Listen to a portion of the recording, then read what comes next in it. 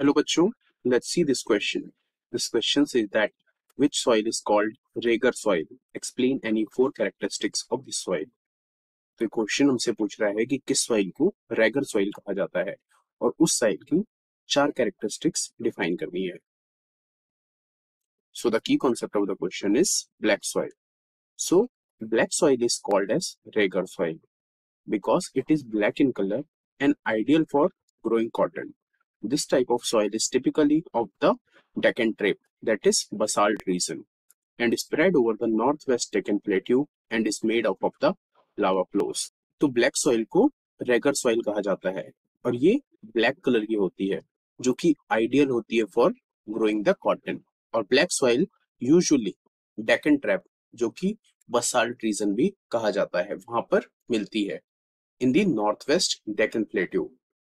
which was formed of the lava flows. Let's see the characteristics of soil used for graving cotton. First, it is made up of the fine clay material with the high moisture retaining capacity. तो जो black soil होती है वो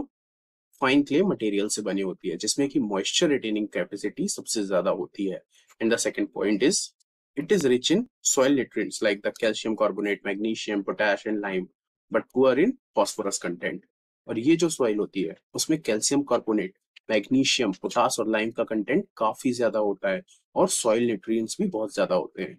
where S phosphorus content जो इसमें होता है वो काफ़ी कम होता है and the third point is it develops deep crack during the hot weather helping in proper accretion of the soil और ये सॉइल हॉट वेदर के वक्त डीप क्रैक जनरेट करता है, which help in the proper accretion of the soil. And the fourth point is it is found in the plateau area of the Maharashtra, Gujarat, Madhya Pradesh and Chhattisgarh as well as in the Godavari and Krishna Valley. और ये soil Maharashtra Gujarat और मध्य प्रदेश के प्लेटू reason में पाई जाती है और in the Godavari and Krishna valley so this is all about the black soil I hope you understood well best of luck.